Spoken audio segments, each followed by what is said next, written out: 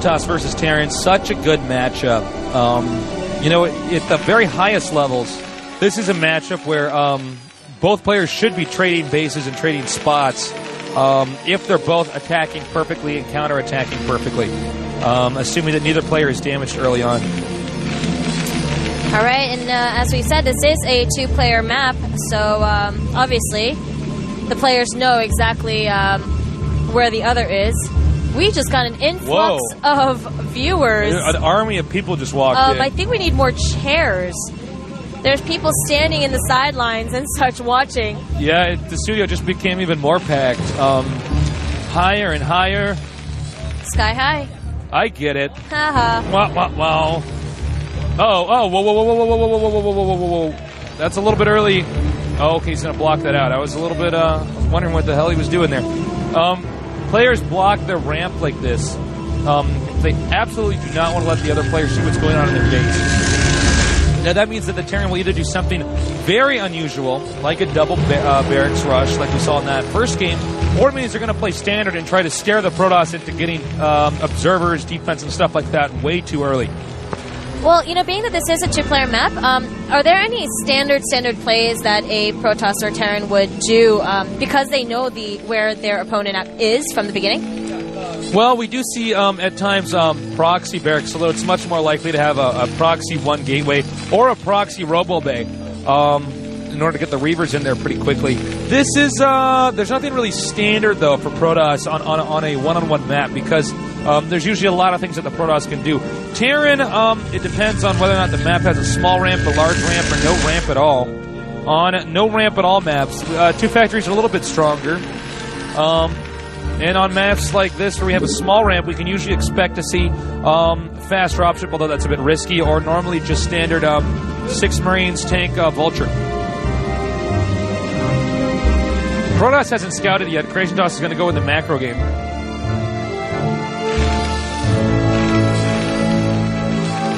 Okay, the barracks is done. Note that this is a pretty large entrance. Um, I guess that does wall in. Okay. This is the map I've gotten to play on the least, actually.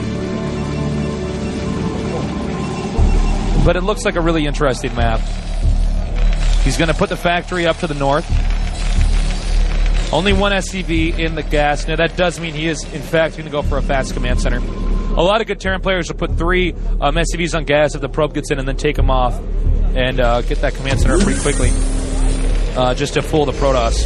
StarCraft's a lot about mind games. You know, unlike Warcraft 3, this is a game where it's very difficult to scout your opponent and see everything you want to see. I mean, if you absolutely have to scout your opponent in Warcraft 3, you can usually just suicide a unit in there. But here, uh, StarCraft, the units are so fragile, uh, things die so quickly that intelligence and deception play a key role.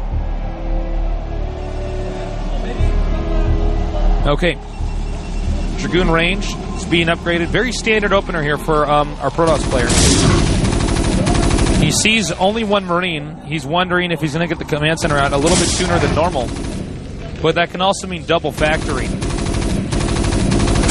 can see he's, he's moving the Zealot around the edges of the wall and to see if he can spot anything. He sees that factory, but he can't see the command center from that angle, so he's still kind of in the dark.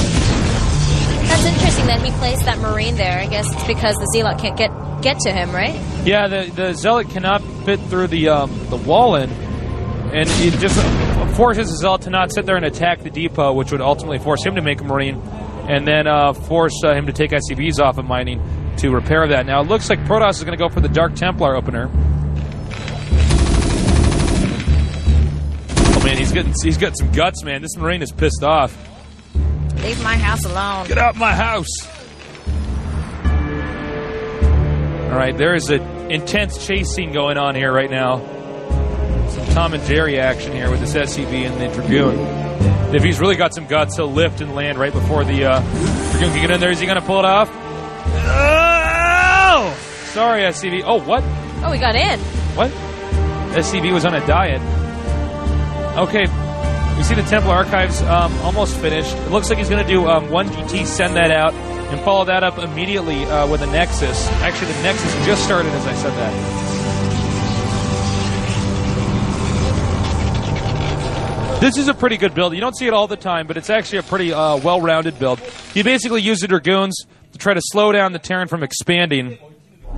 He's assuming that if the Terran's going to two factory, he can wall off with the pylons and use the DT. Let me the pylon here, he make a gateway, another pylon wall that off, and then DT to defend.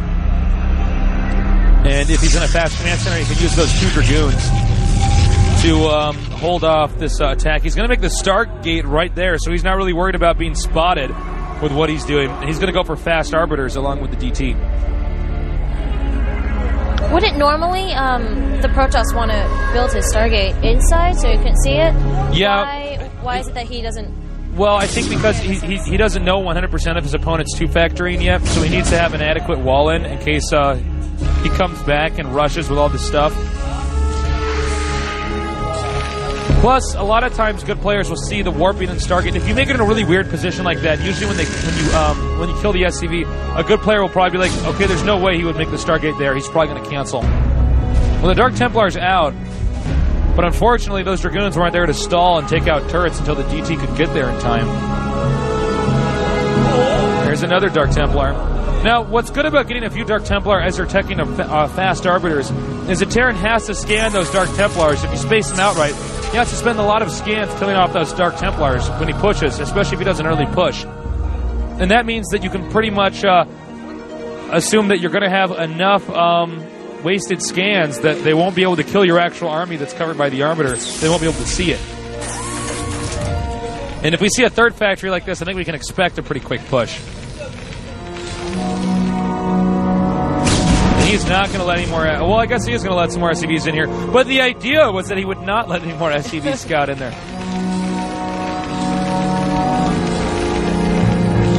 There's a turret underneath that barracks.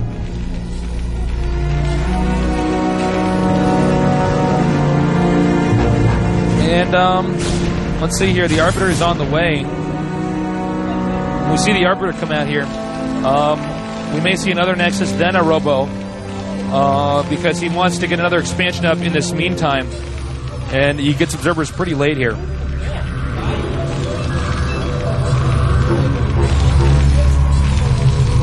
As you can see, his opponent is contained here. Two Dark Templars, and then also three Dragoons and a Zealot at the location where SCVs are most likely to scout out. Oh, a Dark Templar joining that little party there too. Yeah, he's going to join that party. And um, for now, we got what four gateways um, from the Protoss. I expect another Nexus pretty soon here. Also, note Protoss is walling off this section here at the bottom right on the mini map. Our observer hasn't gone there yet. There it is.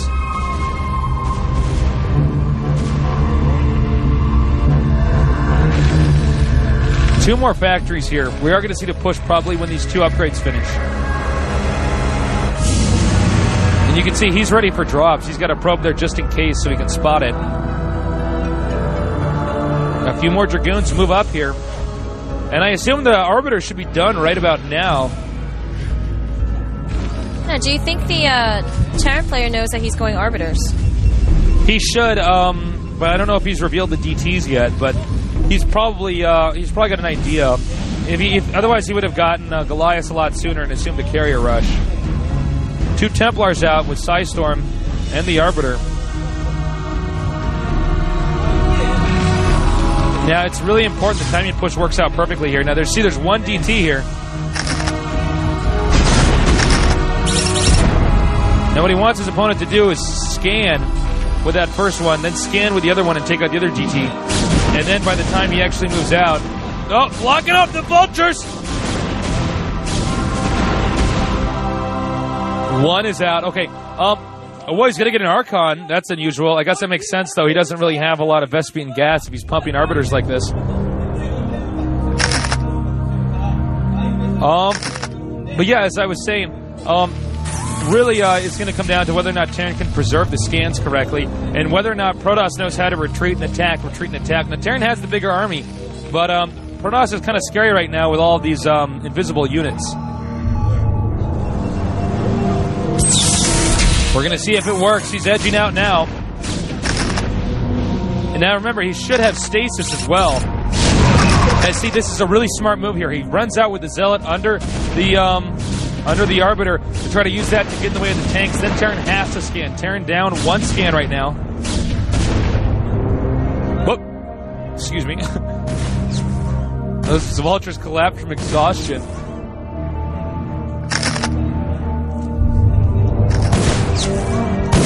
Maybe try to glitch through there with the vultures.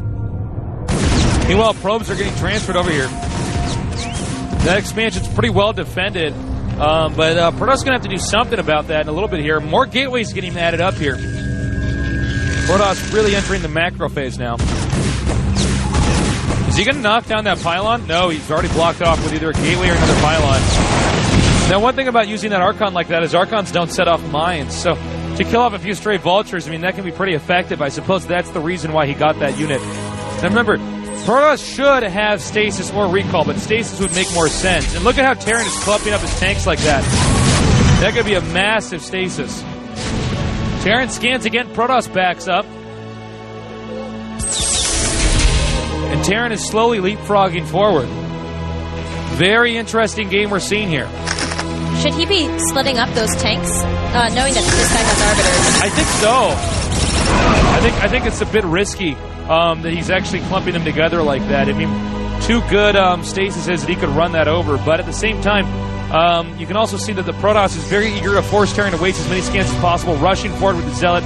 I know you guys probably think I'm saying that a lot, but that's what the entire strategy right now is surrounded with um, for the uh, for the Protoss. He's gonna move. He's gonna move out. One stasis, two stasis, but the really good stasis would have been farther back than that. I think that was a big mistake by Creation Toss. He wanted to, he could probably have gotten six had he gone to the back. No need to stasis these two in the front. Well, Terran's going to be in good shape. Those units are going to unstasis.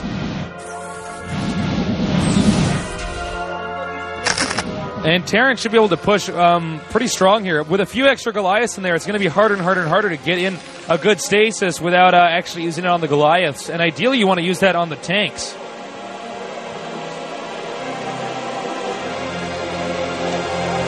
Oh man, take a look at this. Look at what um, look at what Sky High got for Creation Toss. A tank push for Christmas.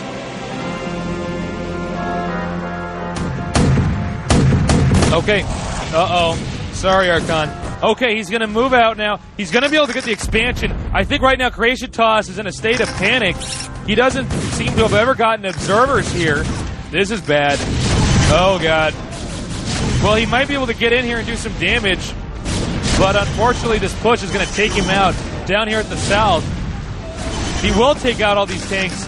Um, however, he has to save that expansion. Terran uh, pumping heavily off of two bases. A huge minefield here. No observers.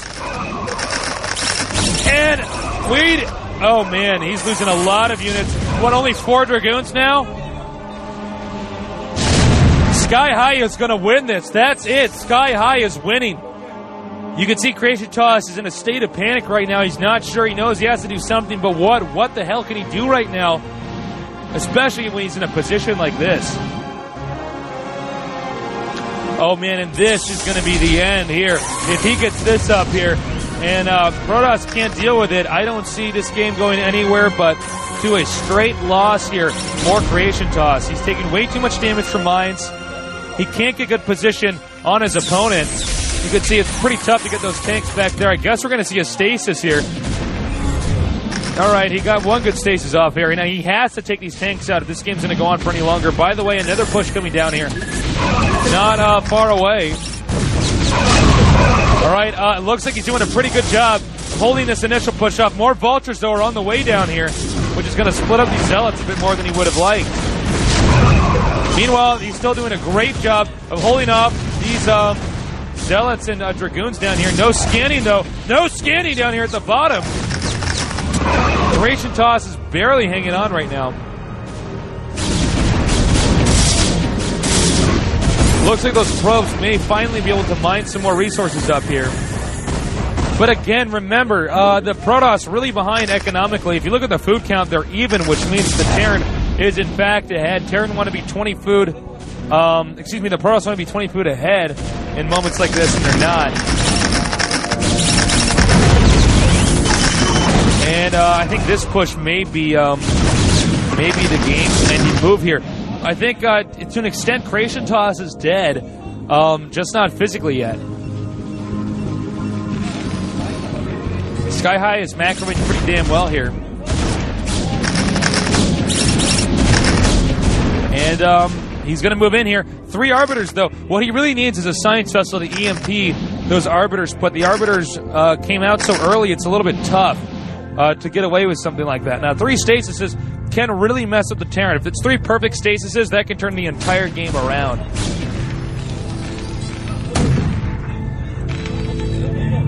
Now, however, though, like these vultures are all over the place. Doesn't look like um, Stu is able to do anything with his dragoons. I don't know. He's Yeah, he's having a hard time uh, stopping this harassment. Oh God, No, the vultures could have gotten in. No, he backs off. He's going to try to go for the uh, the probes over here. And um, Sky High actually uh, having a really tough time. Um, but oh God, maybe he won't be in a little bit. No, it's a minefield and vultures and Okay, he's gonna he's gonna leapfrog forward. And um, two arbiters are out now. He needs the perfect stasis. He needs the stasis dreams are made of. That wasn't it right there. Two vultures and a Goliath are not going to change them. the course of this game. He's leapfrogging. He's doing a hard push, but no turrets um, set up here. He's just focusing purely on making units, maybe making an additional command center in his main to float somewhere. These guys are on strike over there. Okay, um, that should be that. I guess uh, Creation Toss wants to play this out for a little bit longer here. Do you think there's anything he can do right now to redeem himself? No, I actually I don't. I don't think there's anything he can do. Even if he were to somehow hold up this attack, he's losing nexuses too quickly. He's losing probes too quickly. He's going to try to come up here from behind. Oh my god, a lot of vultures come up here and clean that up. That's going to be it. GG. GG. Well played. Sky High goes on to the final eight. Sky High, your winner. Feeling Sky damn High, good. The slayer of one Protoss, nine to go. Creation toss has been destroyed. He will create not um, anything anymore. Get it? Okay, he's uh. Yep. There he there's our is. winner. There's our winner. Look at this. It's like we got a rave going on here. There's so many lights. I feel like I need glow sticks right now while I cast these games. You don't have glow sticks? Not on me. I left my lucky glow sticks at home. All I wonder if they're going to get to do a ceremony or anything. Oh. Well, that was the idea. Remember, before we started this, we were trying to get them to do ceremonies, but um, looks like he did it. Oh, Well, they not not all of them want to do that, man. If I was a pro gamer, I'd be doing crazy ceremonies, man. It would be awesome. But uh, I am a caster, so I can't do that. You could still do ceremonies. I ceremonies. could do ceremonies. Yeah, you I can. could. But uh, yeah, maybe I'll do that in the future. I think um, that was a well, that was a great series. We're going to go on to the second half of today's games. Again, if you're just joining us, only two uh, rounds today. We don't have um, enough players left to do the full four. We're not marathoning it anymore. Yeah, yeah, yeah. We're Um, we're spreading it out. But I mean, this is better for um, not just us, but it's good for you guys. Uh, keeps you in suspense. We will be having two games all the way to the end, and then when we get to the round of eight, no, I think when we get into the the semifinals, we'll just be having one set per day. Um, you know, just to build up the anticipation, build up the suspense, and then we will have your winner sometime in February, I do believe. It should be pretty good, just around time for Valentine's Day. Um, I think, uh, yeah, really great games back there. I like how Sky High won one game with a very aggressive all-in maneuver, and then he won that final game with a very standard play. Um, I think it was really um, Creation Toss who was the, you know, a little bit crazy in that last game, um, doing that Arbiter tech, but you know he just did not get the right stasises off in that initial attack. He should have. Um, looked a little bit farther back. There was really no need for him to attack right there, anyways. I mean, he did not have the high ground advantage. So ultimately, Sky High just outplayed him. Sky High made less errors, and uh, he deserves that win. He's going to go on to the final eight. Well done. He'll have at least a month uh, to prepare for that. Absolutely, and you know what? This actually does real like this does volumes for his career. Um, I mean, he's following some big footsteps in CJ Entus, and this definitely has gained, um, you know, This Listen,